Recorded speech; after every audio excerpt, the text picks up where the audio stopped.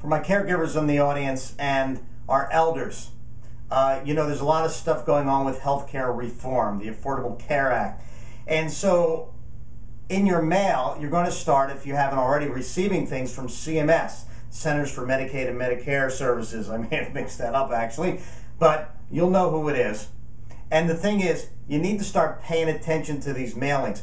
Don't ignore them because there's key information about healthcare reform in those mailings.